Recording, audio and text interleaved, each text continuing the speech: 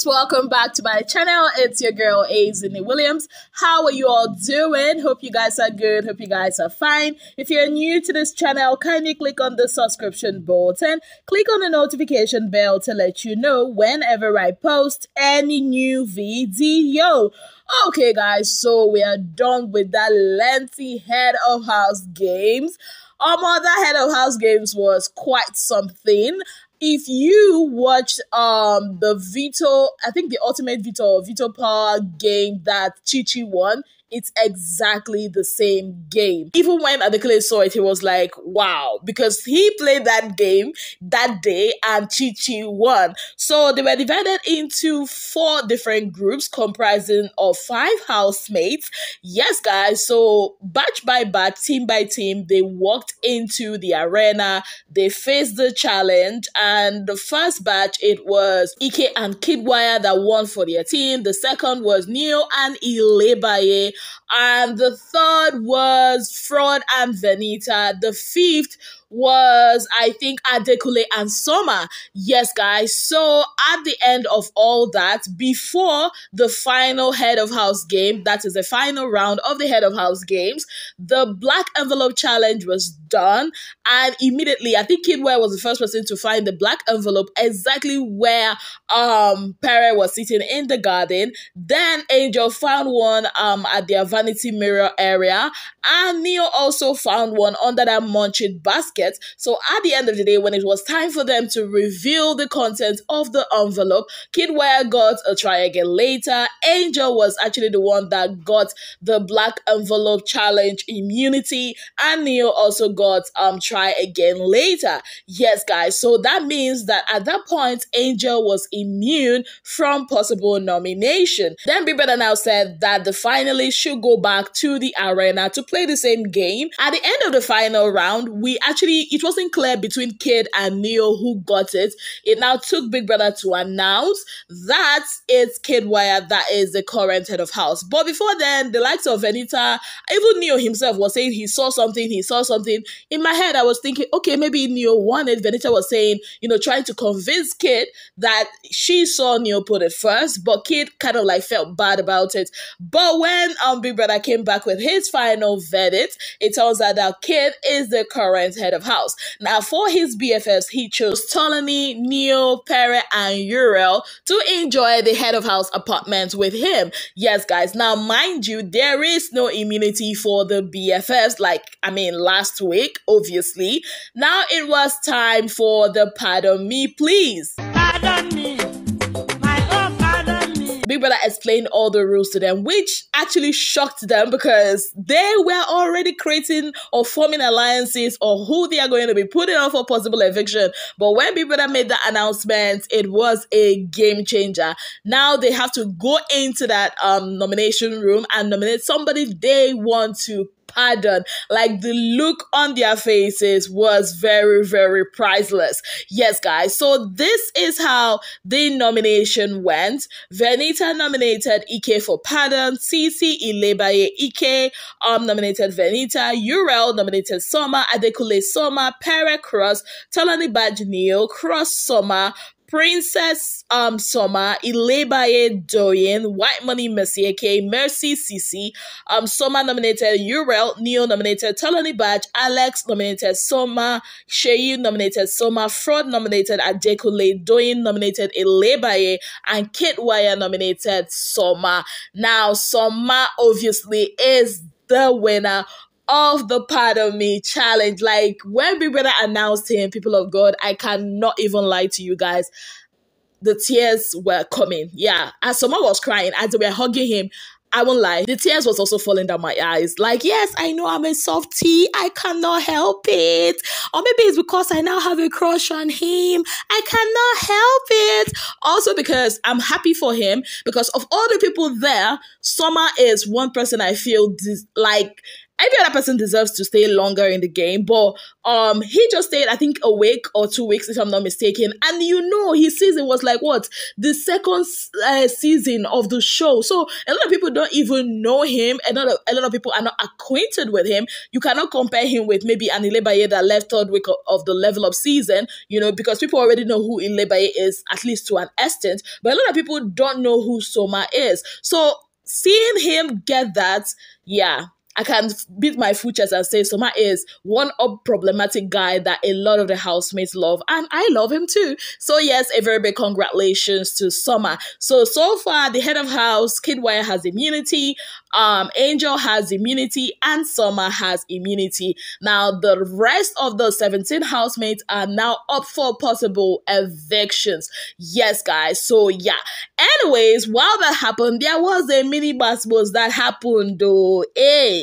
Uriel, my baby, my African baby, was so pissed with Odogwu white money. Ha, Mazi don't piss Uriel off. So they went to the commercial break, right? So we got back and Uriel was angry, was like, What do you mean white money? We are not doing a food comp- cooking competition. We are not dragging the kitchen. The way you cook is not the way I cook. And white money was like, for me, like, what did I do? How did we get here? And Uriel was like, see, of all the people here, you are the one person I know personally. Like what you're doing here is being fake. You're too strategic. You're being fake. Like, are we not chatting on WhatsApp? Don't we chat on WhatsApp? We know each other. I know you personally.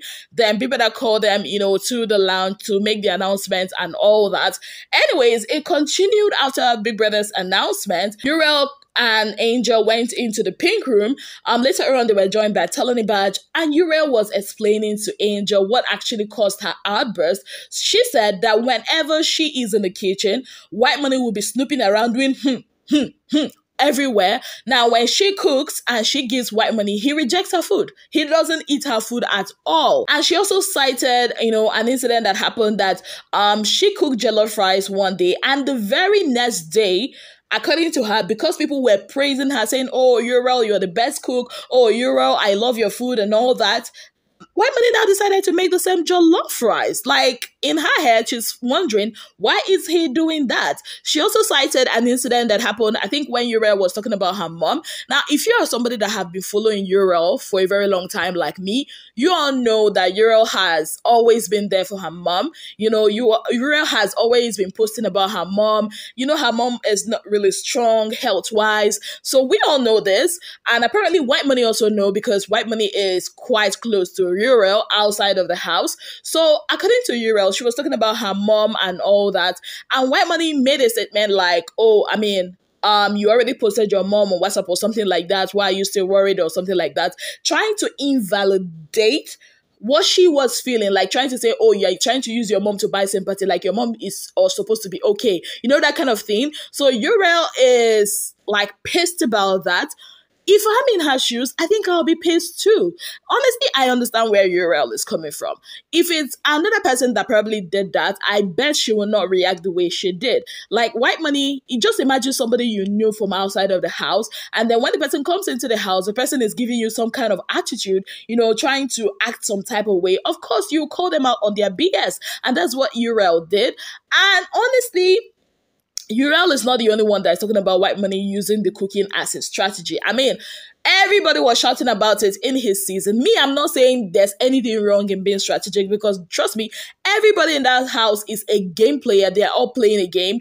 But then there I feel like there is an extent you can go, not try to make another person look bad, especially somebody you know from outside. I know the game is the game, but you will not lose a genuine friendship or relationship over a game that you are not even 100% sure that you're going to win. Like, I hope I think I'm making sense with this. So I get where Uriel is coming from. So and White Money trying to act like, oh, I mean Uriel, what is it? How do like acting so ignorant that he doesn't know what's happening? That's fake. I'm gonna say with my full chest. I feel like that's fake because he knows, you know, like it's somehow her reason on the outside might look very um petty, but if you look at the feelings behind it, it actually makes sense. Also, Doyin is quite pissed with Kiddwaya because according to Doyin, she was on her own. No, she was on her own. That is how Kiddwaya came, forming alliance. Even in the, I think when she and Ilebaye were in the toilet area, he came trying to form an alliance and everything, promising her that, okay, if I win head of house, I'll make you one of um, my BFFs. And he didn't do that. Now, Doyin is so pissed and she's saying like she was on her own. Like it's a different thing if I go to you to ask of this, but I was on my own and you decided, you know what, I'm going to do this for you. She said that that kind of situation she does not like it at all. Honestly, I also do understand, you know, Doyin, but then again, people are playing games. So whatever you're doing in that house, you just have to be wise about it. Don't be tr- too trusting of anybody you see in the house, honestly. Now, away from that, let's go to some of the things I've noticed. Let's talk about Neo. This Neo, eh, I don't know. You can see Neo and Tolani but they are not beating that um, accusation or that speculation that they don't have something together on the outside. They are not. Like, did you see him holding Tolanibaj's waist? Like, I think they are in that space where they are tired of hiding anymore. But then again, Neo has refused to let Ilebaye be. Is it not the Ilebaye that he was saying, oh, she's the one harassing me? She's, but he's the one dragging her, calling Ilebaye, wanting Ilebaye to be by his side. I don't understand that. Neo, let this girl be before you start accusing her now your sister will come and do defender of the defenseless tomorrow. I beg you. Anyways, these are some of the things that happened. I'm sure a lot of drama will still happen based on some of the things, you know, that had already happened. Let me know your thoughts on all of this in the comment section. On that note, I'd like to say a very big thank you to you all for being part of my channel. If you have not yet subscribed, kindly click on the subscription button, click on the notification bell to let you know know whenever I post any new video. Until I come your way again, I remain your darling girl, Ezinne Williams. Have yourself a beautiful, wonderful day ahead.